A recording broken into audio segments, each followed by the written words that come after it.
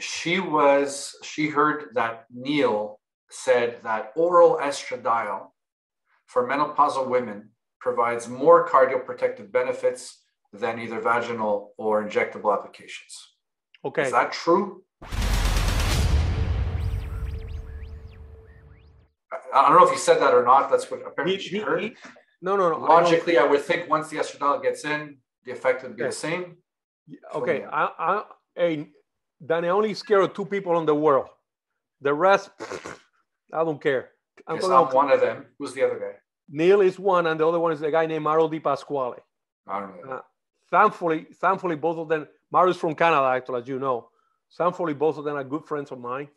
Um, I I would gotta get say Mary on one day. what? I gotta get Di Pasquale on one day. Yes, actually, Mauro is on my. Mauro told me seven years ago that he didn't want to talk to anybody, and I was like, "Why?"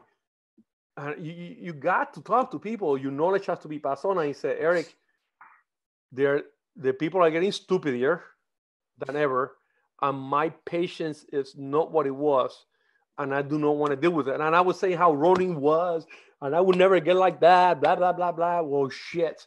I'm flying on the I'm flying on the same plane he is, and it pisses me off. I had to call him. Yes, you were right.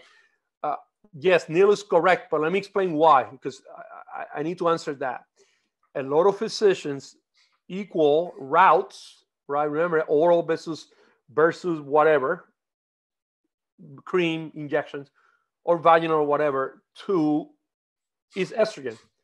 Now, Neil is saying that because the research that he has collected, which I have a lot of it, and I even send we change papers almost every day, shows that the oral one is the always the one that has shown to prevent cardiovascular disease.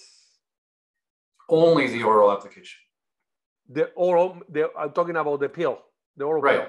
Okay, the estrogen on bio, on the cream, right, and the vaginal cream have not shown, or they haven't done. St- well, I take it back. There's one study that is kind of weak. I read it that show that the cream has some cardiovascular protection, but they use cholesterol, which does cholesterol really does anything to your cardiovascular disease? No, it doesn't. And, and estrogen lowers LDL. Yes, for those people out there, testosterone does increases LDL if you use injections, but if you use bioidentical cream, Danny, it doesn't do it as bad. You better look at your own levels yourself. You see that. Hmm. Okay. Guys, by the way, Neil told me straight out for for men that have issues with cholesterol, with lipids, he's actually prescribing estradiol to Okay. improve their lipid profile Why? Did he explain to you why? because it Okay. has a beneficial impact on lipids. No, no, no, no. I want to always explain. There's always signs. I did a master's. My master was in exercise. Well, I didn't finish it. So I don't want people to say, yeah, I had three more credits and I didn't want to go back from medical school to finish it. But I always like to look at why. Okay. Now, estrogen is made out of what molecule? What's the what's the what's the parent molecule? Cholesterol, right?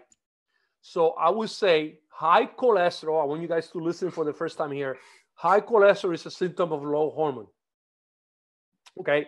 So if I put a person on testosterone or estrogen or progesterone, their cholesterol usually will come down. Why is that? Because the body wants to make cholesterol to have a function. For example, and this is a cool case. I had a person that the cholesterol was 271, right? And they wanted to put it on cholesterol medication. His vitamin D was only 12, right? I put on vitamin D. Now you guys are going to ship bricks when I tell you I put on 20,000 IUs a day, right?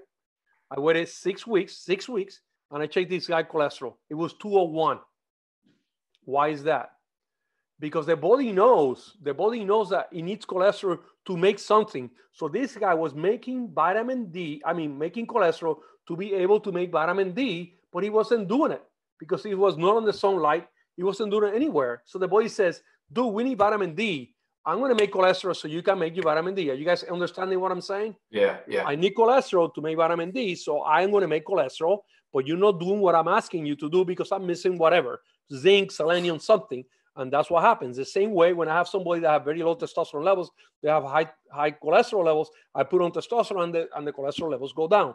So Neil is correct. Yes, the reason estrogen brings down cholesterol is because the end point of the route, meaning testosterone gets converted to estrogen, and that's usually quote unquote, it's not the endpoint, but it's almost the endpoint.